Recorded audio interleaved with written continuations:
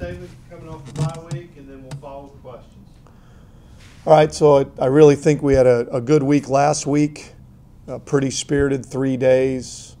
Um, our guys got a chance to get away over the weekend and hopefully, uh, well, I know we came back last night and had a good Sunday night practice. They'll have today off and, and then it's back to work on Tuesday. I think it came at a great time. We'd gone nine straight weeks of playing games. Obviously, we had all of two a days, so the guys had really hadn't had a break. And you know where we're at right now is where you want to be. You know, I don't know how many teams in the country can say it's it's November and they have a chance to play for a championship, and we control our own destiny, which is a great place to be. I mean, that's that's where you want to be, and and we've earned that. Our players have earned that, and so we're excited about uh, the opportunity this week to go play down at, uh, at Rice. David Bailiff has, has done a great job there. Just his consistency, done a great job recruiting. It was just two years ago they won our league. They were a bowl team last year. Got a, a veteran quarterback, senior quarterback, an excellent senior receiver, really good running backs on offense, and then defensively, they've been beat up a little bit, which it which stings. You know, you just it's hard to replace good players. They had to replace a number of defensive linemen, and then their defensive end hurt his knee at the start of the year. But they've continued to play hard. Those players have only gotten better. And uh, we're going to have to be at our best because they've got good coaches. I know both of their coordinators. They do a great job. They've got good players. And, and when you've got a senior quarterback, uh, they're always a threat. And, um, you know, we're talking about one of the, the best programs in our conference and, and best coach teams that you're going to face. So uh, we're going to have to be at our best, and I anticipate that our guys will be. Coach, you mentioned the bye week coming at a good time. Was it also at a good time because people got a chance to get the bowl eligibility, bowl eligibility out of their system, kind of? I guess that could be some of it. I think some being where you're, you know, okay, we've had a chance to, we've reached our first goal, and now we get a chance to have a little bit of a break and refocus for the for the last three games. That that's probably some of it. I think also as you know, Dylan Bradley got dinged up a couple weeks ago or three weeks ago, then re-injured it, but I think he'll be fine this week, which is good. He's a really good player for us. You know, I think Justice Hayes getting another week to get back, Quincy Russell, some of those guys to just continue to add depth to our team. So you know, and it's um, it's just one of those things. You're just excited to uh, to get an opportunity right now, uh, to get a little break, get away, and then you know, two of the last three games are on the road, and we're going to have to, to be at our best. What shows up? What usually stands out most after a bye week? Like, what do you, what do you, what's normally the biggest um, advantage after, after? I think you get a little bit of uh, extended preparation on the next opponent. I, I just think you have a chance to look forward. If you're not careful, though, you'll have too much because you have a lot of time on your hands. But the biggest thing is okay, you know, we really get to dial in on, on some of the things. We played Rice, obviously, last year. And to get a chance to really look ahead and work a little bit more towards your plan because it's really uh, not about the calls, it's about how you execute the calls developing a great plan, working your plan, and then executing it. So the more you can work on specific things that you um, that you plan on utilizing its rice. Now, did we do all that last week? No, but um, we did some of it.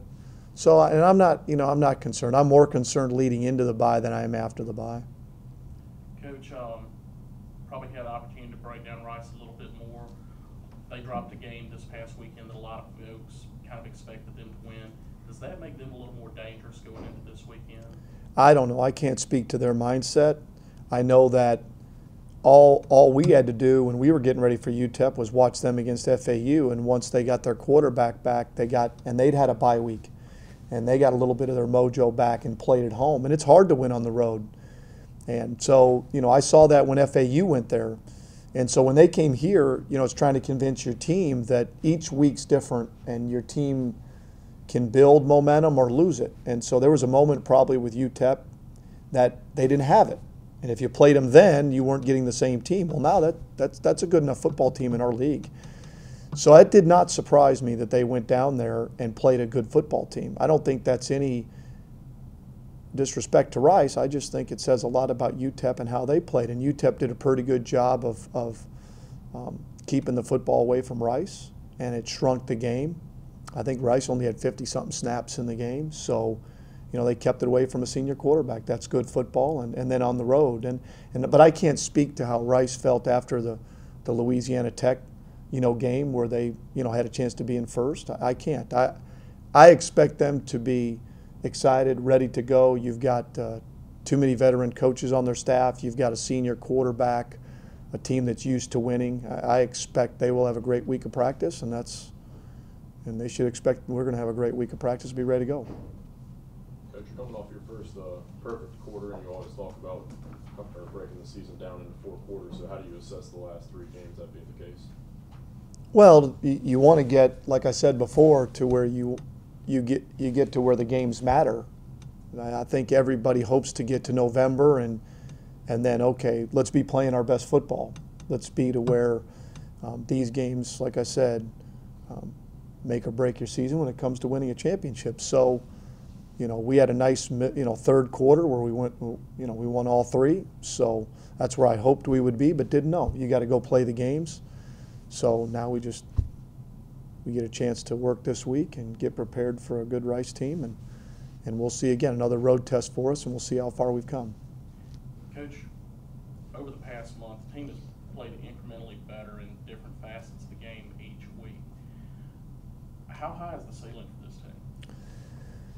Well, we've got good coaches, we've got good players, and we've got good schemes. I don't think we've played a perfect game yet. I really don't. Uh, you know, not that you ever play a perfect game. You don't, but you strive for that. I did think that last week against, or two weeks ago against UTEP, I did think we did a lot of things well. Collectively scored on special teams. We held them under 300 yards, didn't give up big plays, and then offensively, other than the one time Nick got hit, we didn't turn it over. We didn't fumble it in the rain. So those were good signs.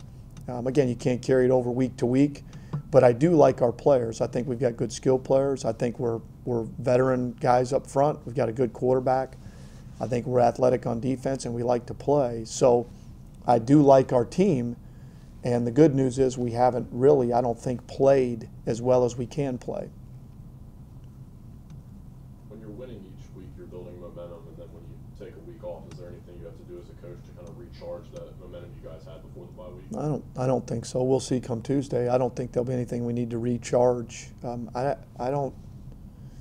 I can't imagine that, other than we've said it to our guys. I just can't imagine that our guys don't understand what's in front of them. There's no. There's no reason to turn back now. I mean, now's the time, man. This is this is it. This is what you play for. I mean, you know, our our number one goal was to get to a bowl game. We've got that, okay, but everything else is still in front of us. So.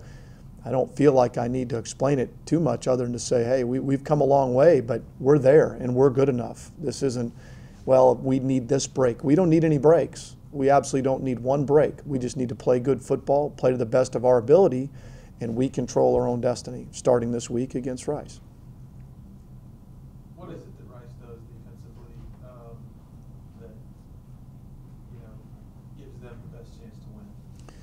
Well, you're going to have to play good football against them because they're very sound in what they do. Their guys play hard. They're going to be dialed in. When you're when you're very good at what you do and you do the same things over and over, they're going to have a pretty good beat on what we do. So we're going to we're going to have to execute. We're going to have to. Um, how do I want to say it? it it's not going to be a matter they're going to turn somebody loose. They're not going to, to blow a coverage. They're not going to be out of a gap. So we have to be able to execute better than they do it. You know, it's just the way it is, and it was that way last year. We just didn't do a good enough job of doing it. So, and they've got good players. So that's that's the, the biggest challenge. They got good players, got good coaches, and they do they do good things on defense and force you to execute. Day in and day out, since you're still uh, at the point that you are, what do you see out of your players that you know, you know, they're still uh, motivated and, and, and ready to play? Um, I, don't know if there's anything in particular. I, I, I, I, I can say this just like last week. I didn't think we had a very good Tuesday. We told them so that on Wednesday I thought we had a great Wednesday. So it's it's one of those things where I think we've got a mature team and a talented enough team, a team that understands that you can be honest with these guys. I mean, you can you can you can tell them straight. You can tell them when it's not right. You can tell them when it is right. You can tell them when we've got to be better, and they've responded the whole year. you know, have, have, have done that. So, again, can I speak to every player on their team to their motivation or where they're at or their confidence level? No. I can only go by how we practice. I can only go by their energy, their attitude, their body language every day and see how they bring it. How many guys are coming in and watching film on the off day on their own? How many guys are asking questions in the meeting rooms? How many guys are engaged? You know, and then I ask our coaches, are the guys engaged? Are they taking notes? Are we trying to do it better than Rice? That's all that matters this week is how do we do it better than Rice? We don't need to worry about anything else. Are we having better meetings than they are? Are we having better practices? Are we developing a plan better than they do? That's what this puzzle is.